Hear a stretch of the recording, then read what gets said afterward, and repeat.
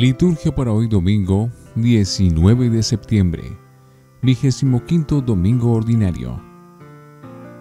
Antífona. Yo soy la salvación del pueblo, dice el Señor. Yo los escucharé cuando me invoquen en cualquier tribulación y seré su Señor para siempre. Gloria a Dios en el cielo y en la tierra paz a los hombres que ama el Señor. Por tu inmensa gloria te alabamos, te bendecimos, te adoramos, te glorificamos, te damos gracias Señor Dios Rey Celestial, Dios Padre Todopoderoso, Señor Hijo Único Jesucristo, Señor Dios, Cordero de Dios, Hijo del Padre. Tú que quitas el pecado del mundo, ten piedad de nosotros. Tú que quitas el pecado del mundo, atiende nuestra súplica. Tú que estás sentado a la derecha del Padre, ten piedad de nosotros, porque solo tú eres santo, solo tú Señor, solo tú Altísimo Jesucristo, con el Espíritu Santo, en la gloria de Dios Padre. Amén.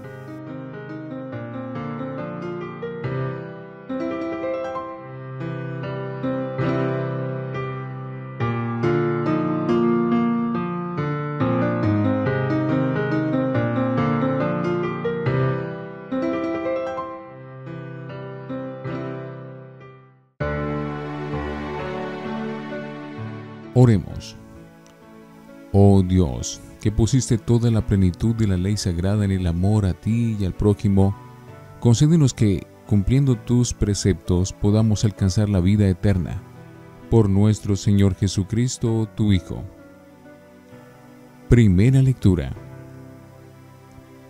Del libro de la sabiduría, capítulo 2, versículo 12 y 17 al 20.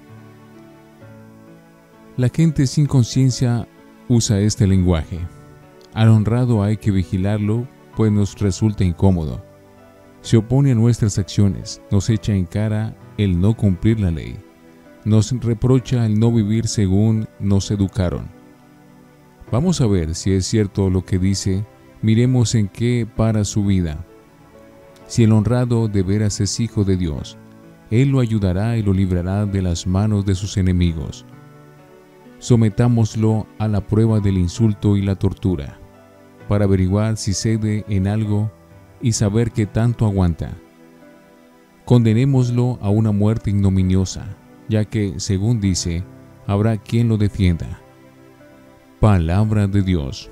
Te alabamos, Señor.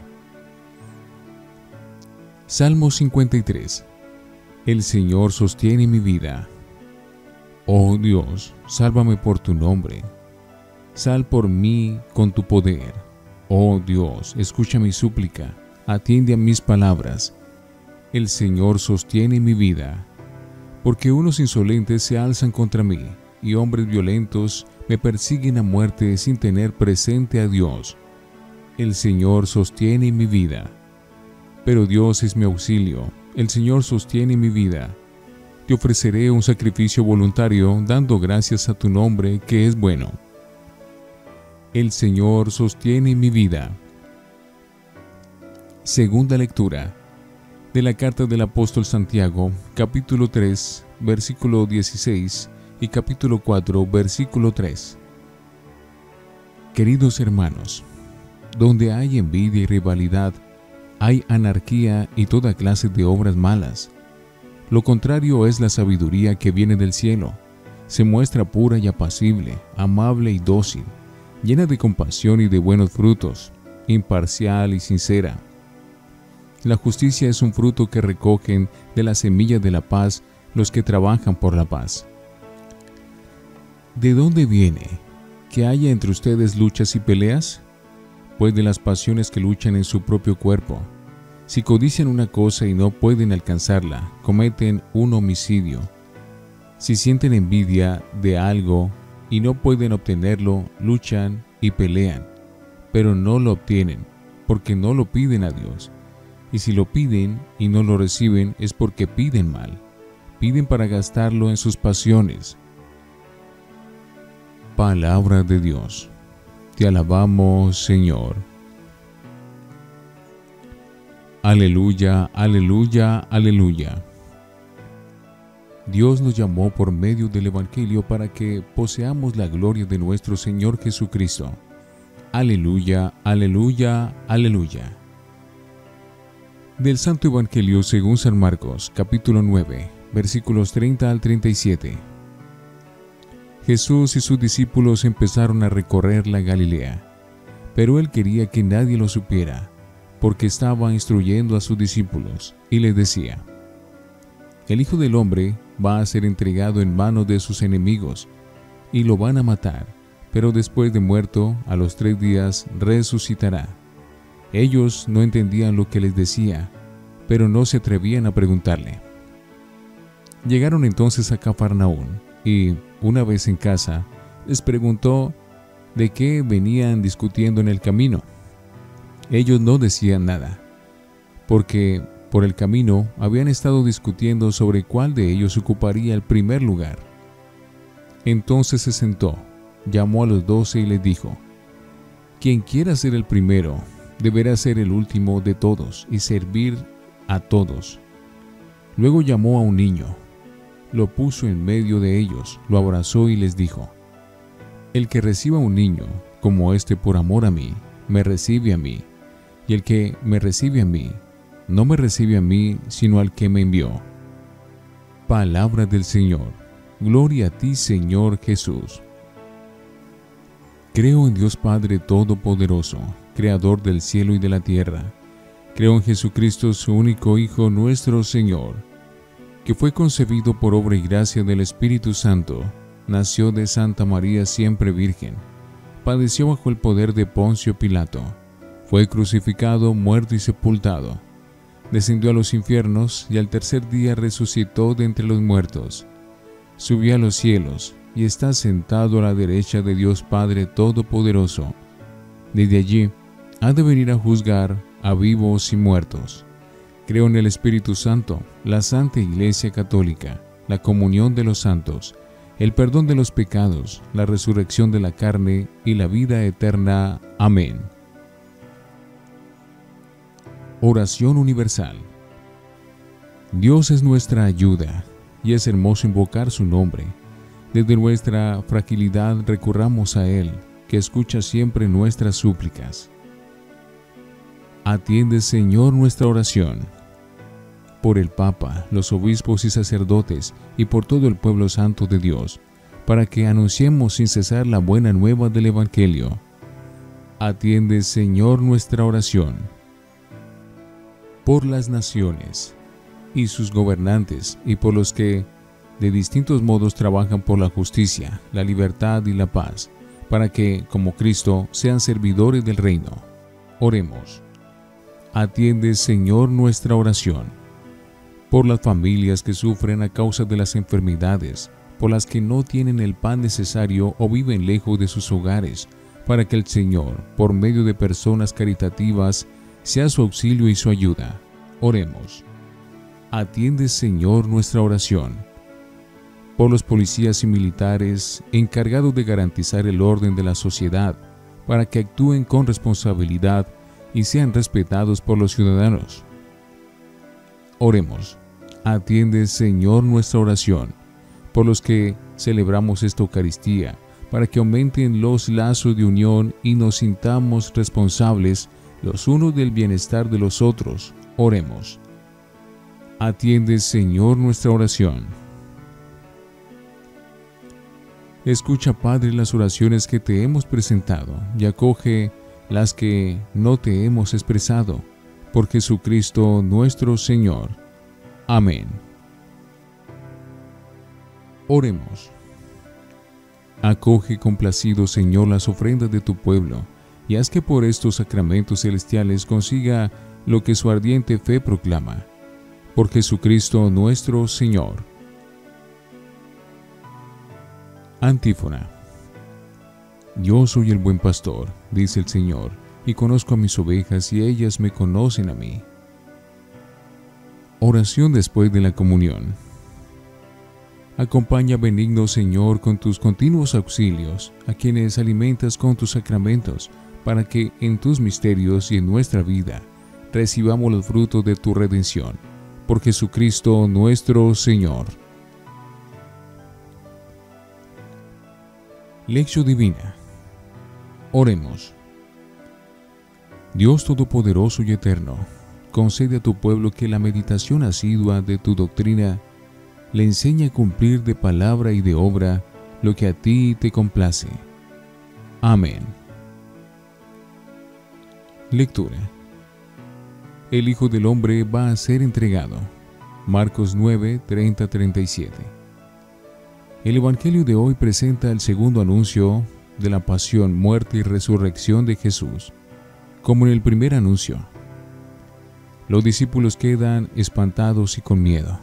No entienden la palabra sobre la cruz, porque no son capaces de entender ni de aceptar a un Mesías que se hace siervo de los hermanos. Ellos siguen soñando con un Mesías glorioso y muestran, además de esto, una gran incoherencia Mientras Jesús anuncia su pasión y muerte, ellos discuten entre sí quién de ellos es el mayor. El anuncio de la cruz. Jesús camina por Galilea, pero no quiere que la gente se entere, pues está ocupado con la formación de los discípulos y conversa con ellos sobre la cruz. Dice que, según la profecía de Isaías, el Hijo del Hombre debía ser entregado y condenado a muerte eso indica que Jesús se dejaba orientar por la Biblia, tanto en la realización de su propia misión como en la formación de los discípulos. Él sacaba su enseñanza de las profecías, como en el primer anuncio. Los discípulos lo escuchaban, pero no entendían la palabra sobre la cruz, y tampoco piden aclaraciones. Tienen miedo de dejar ver su ignorancia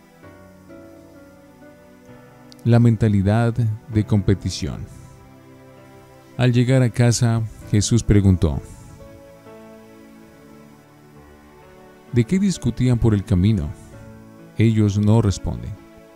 Es el silencio de quien se siente culpable, pues por el camino habían discutido sobre si, sobre quién era el mayor. Jesús es buen pedagogo. No interviene inmediatamente. Sabe esperar el momento para luchar contra la influencia de la ideología en sus formados. La mentalidad de competición y de prestigio que caracterizaba la sociedad del Imperio Romano se infiltraba ya en la pequeña comunidad que estaba a punto de empezar. Aquí aparece el contraste, la incoherencia. Mientras Jesús se preocupa de ser Mesías siervo, ellos solo piensan en ser el mayor. Jesús trata de bajar y ellos quieren subir.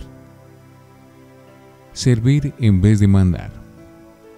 La respuesta de Jesús es un resumen del testimonio de vida que él mismo venía dando desde el comienzo. Si uno quiere ser el primero, que sea el último de todos, el siervo de todos, pues el último no gana premio ni recompensa. Es un siervo inútil. El poder hay que usarlo no para subir y dominar, sino para bajar y servir. Enseguida Jesús pone a un niño en medio de ellos. Una persona que solo piensa en subir y en dominar no prestaría gran atención a los pequeños, pero Jesús lo invierte todo. Dice, el que recibe a uno de estos pequeños en mi nombre, a mí me recibe. Quien me recibe a mí, recibe a aquel que me ha enviado.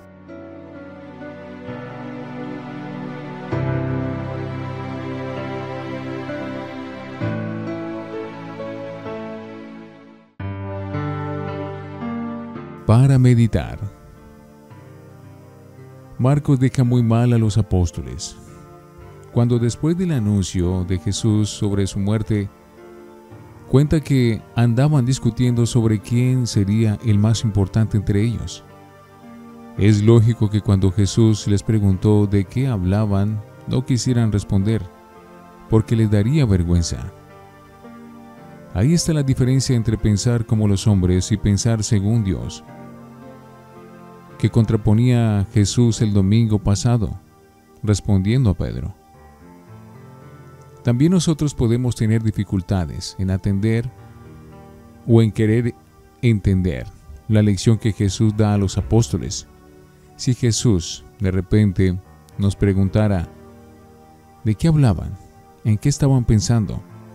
Tal vez sentiríamos también vergüenza de confesar cuáles eh, son nuestras ambiciones y deseos.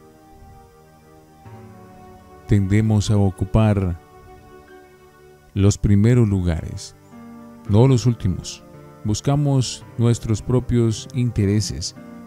Y eso no pasa solo en el mundo de la política, sino también en el de la iglesia y en el ámbito familiar. Reflexionemos. Jesús quiere bajar y servir. Los discípulos quieren subir y dominar. ¿Cuál es la motivación más profunda de mi yo desconocido?